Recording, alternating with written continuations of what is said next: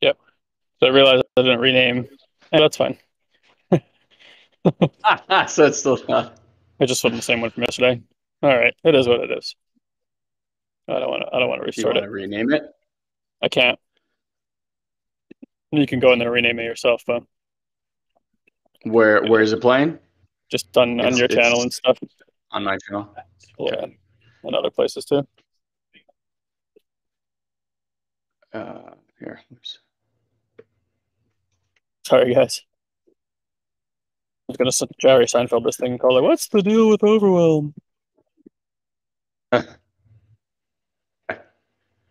Oh no! Oh, there it goes. Okay, it did it. It did It the did thing. it. It did it. It did the thing. I think. Let me go change it. Yeah, I should have changed it. Uh, maybe it didn't do the thing. Okay. You got all right. You got just you, you say things. I'll do the things. Well, I'm trying to change it on my end. Hold on.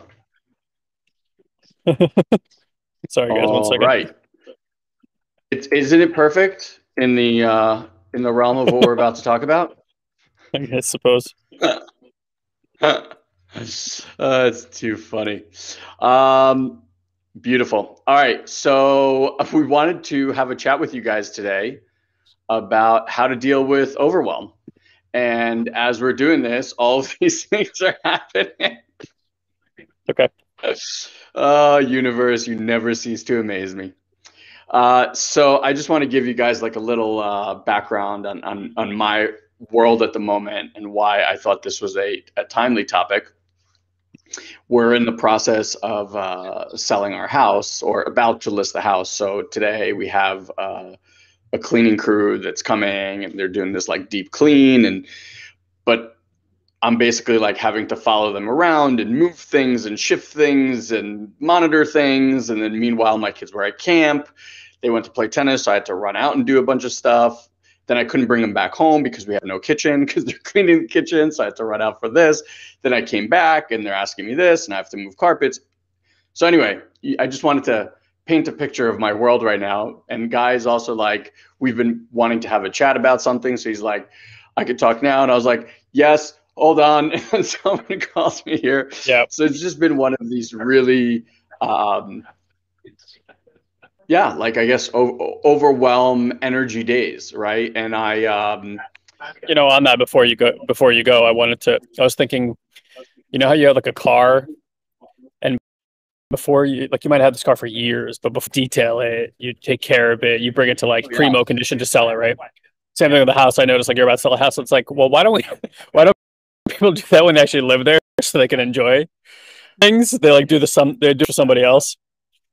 so I've thought, I've thought long and hard about this because it, it obviously we're in the process of doing it. So I'll, I'll, Yeah. I'll take you on a little bit of a tangent of like what I figured out, you know, and I think this is kind of true for, um, really anything, but like specifically a house. To, to to repaint a house and fix some cracked walls and do all of these things, right? Like I can I guess I can speak for me. If there's a crack in the wall or a paint somewhere is chipping and I went to fix that, in my world, for me, I'm not going to walk in my house now with like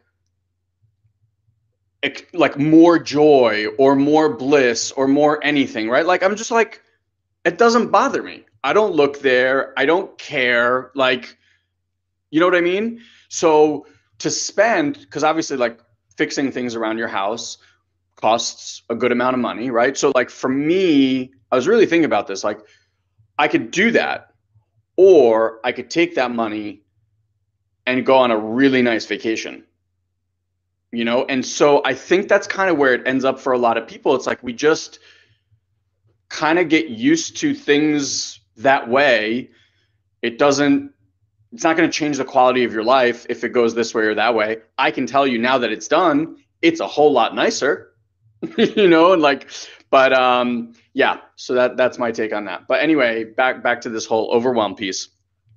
So, you know, eh, so one of the things that happens a lot of the times when you're overwhelmed is you're running around doing this and then the thing that's really been always a huge trigger for me is kind of like when I'm on task and doing something, and then I know this this is for you guys too, and someone comes in and goes, I need you to do this. And like my plans need to change in the moment. And I feel both like I have no choice in the matter. And now time is taken away from what I was intending to do to do this other thing and it it generally like really charges me. So um, I had to leave the house to go pick up the kids uh, from from camp. They're on break this uh, week, and on the way, Fanny calls me and she's like, "Listen, they're still working in the kitchen. Like the kids are going to be starving. Why don't you take them out to lunch?" And if I take him out to lunch, that's basically like an hour ordeal. Guy and I were supposed to have this conversation. So in my head, like I was like chick chock and back and now that was out the window. And I could feel. I'm not sure I knows what chick chuck is. is kind of, chick chuck. Oh, yeah, that's true. Chick chuck is like uh, real quick. It's a it's a language that's. It's is it's, it's is Hebrew, Hebrew for sure. Yeah. um, and I I know that like in these moments that uh, there's a charge that usually happens in my system and I get very irritated. And the other thing that you may notice when you're in overwhelm is that your fuse is very, very shortened. Like everything upsets you. You know, things that your kids would say would, that would normally like not have any impact on you, all of a sudden like really upsetting. Things will happen, you'll drive, and all of a sudden you get really upset. And what was interesting this time, so this was happening and I could feel this hook coming and wanting to pull me into the world of upset. Like, it's not fair. I had these plans. I don't have time for this, like, et cetera, et cetera, et cetera. And instead, what ended up happening is I ended up taking the kids out and we had lunch together and we were hanging out and doing all that stuff, which you know, I basically got like an hour with my kids that wasn't scheduled or, or supposed to happen. And even during lunch, I would love to say that this was all like, you know, hunky dory, but like even during lunch, there was a TV there. And so now I'm, I'm committed, like I'm going to be with these kids, and my kids are sitting there watching news on a, on a TV instead of us having like an interaction. And again, the hook, right? Like the hook comes and it's like, you already took time out of your day. And now they're here. Now these ungrateful little shits, and they're sitting there just watching TV. I could just feel all of it. I could feel all of it. And and what I really want to share is that these practices are moment by moment. It's not like a you you you snap your fingers once you do this exercise once you meditate once and it's over. Like even during this you know hour and a half time frame that i had i was ping ponging back and forth between this and this and this and this and this. So i think what's important to understand is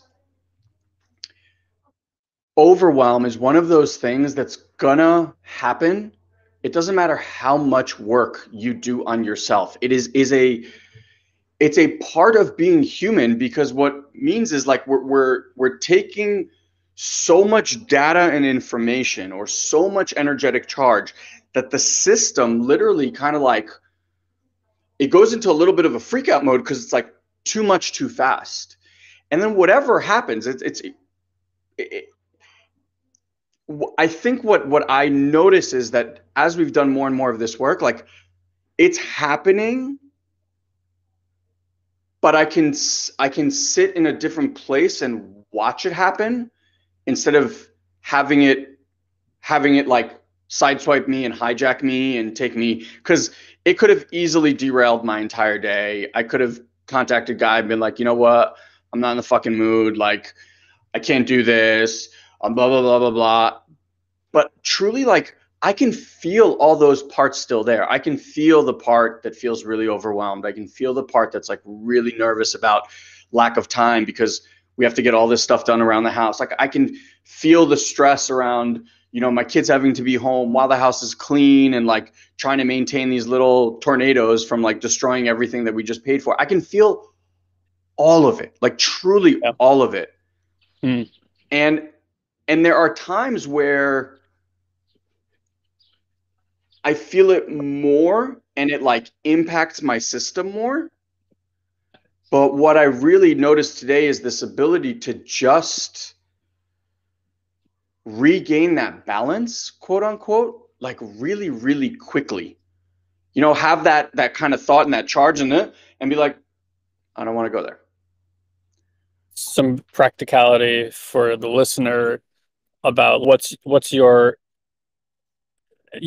yeah, what's like your internal and external um, focus in that moment. I don't want to say doing because then people think there's like a, a specific thing one yeah. does to get cut overwhelmed, which in a way there is, but you know, then you turn it into a process and it's not exactly always going to help you. So what, what are you, what are you finding is actually happening within you and outside of you?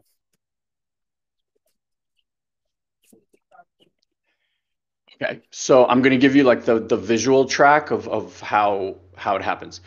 It feels like if if my upper torso was this like um, had like a lot of buttons that when people push they like light up and and create some sort of like response. So in when when overwhelm happens, I generally feel like there's this protective layer that I usually have that I don't I, I hate to call it a force field, but it feels like um, people really can't get through it to push all these buttons. Like an energetic boundary almost. Correct. And when when the system is highly charged and and it goes into this overwhelm it feels like that uh, barrier is disintegrated a little bit. And so the access to the buttons are a lot uh, faster. So that's kind of been my experience. It's like seeing that. I think today what I was really present to is that the buttons being pushed aren't me. I know that that might sound really strange, but like the button I lost you there for a second. The button yeah, that's being that. the button that's being pushed was just my experience today was like it wasn't actually me. It was this program that I could just watch. I need to show them stuff. I just showed them. So go, they're done. They're waiting for you. That's why I came down here. Here we go. this is my day in a nutshell. we can cut it short if you want for the day. Go right, I'm gonna go. I'm gonna let you take over. Okay. No, sorry. We'll we'll cut it off for the day. We'll have uh, we'll have another chat at a different time. It doesn't it doesn't feel like an alignment to just pick it up from there. All right, guys. We love you. We'll pick it up next time. We're sorry for the uh, how it ended today. See you next time.